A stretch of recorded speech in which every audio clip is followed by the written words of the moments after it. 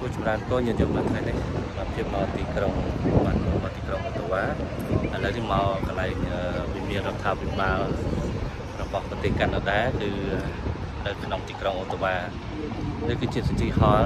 ដែលជាអគារធ្វើការរបស់រដ្ឋាភិបាលនៃប្រទេសកាណាដាហើយក៏ជាទីក្រុងនៃបេះដូងនៃប្រទេសកាណាដាផងដែរចុចខ្ញុំទស្សនាថតវីដេអូថតមកមុខតាបាទ ឥឡូវយើងមើលខាងក្រោយវិញបងណាបាទហើយទីក្រុងនេះគឺជាទីក្រុងសំខាន់គឺជាបេះដូងនៃប្រទេសកាណាដាបាទដូចយើងរាជធានីភ្នំពេញដែលជាកន្លែងធ្វើការរបស់អឺនាយរដ្ឋមន្ត្រីនៃប្រទេសកាណាដានេះគឺចឹងបាទនេះគឺជាវិមានរដ្ឋសភានៃប្រទេសកាណាដាបាទ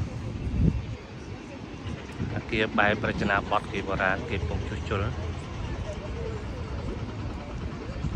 គេមាន ទីទួលមួយសម្រាប់កសាងអាគារនៃរដ្ឋាភិបាលកន្លែងធ្វើការរបស់រដ្ឋគាត់ឆ្លងមកទីនេះនៅនៅត្រជាក់ព្រះតកកកន្លែងភ្លើងឆេះ24ម៉ោងឆេះរហូតភ្លើងនោះអូខែក្តៅក៏ឆេះខែត្រជាក់ក៏ឆេះភ្លើងនោះភ្លើងនៅត្រង់នោះភ្លើង នឹងឆេះរាល់ថ្ងៃត្រជាក់ក៏ឆេះក្តៅក៏ឆេះ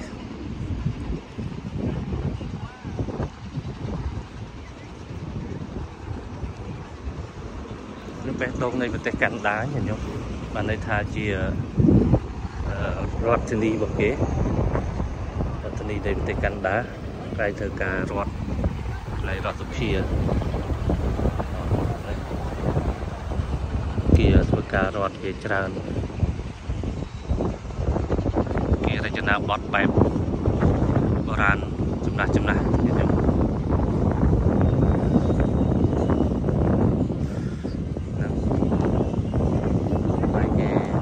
ន្លែងដើរកំសាន្តរបស់ជាបរដ្ឋគេដែរខ្ញុំគេមិនហាមឃាត់ទេចូលទៅក្នុងយើងចង់ចូលទៅក្នុងក៏បានដែរចូលទៅក្នុងកន្លែងវិទ្យារដ្ឋសភានេះ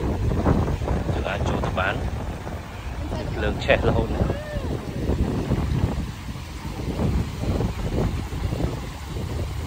លើកឆេះរាល់ថ្ងៃរាល់ថ្ងៃរាល់យប់ហ្នឹងកសាងឆ្នាំ1867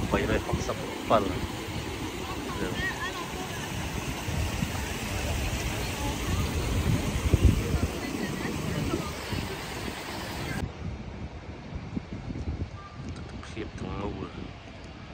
នៃអគាររដ្ឋាភិបាលនៃប្រទេសកាណាដានៃអគាររដ្ឋសភា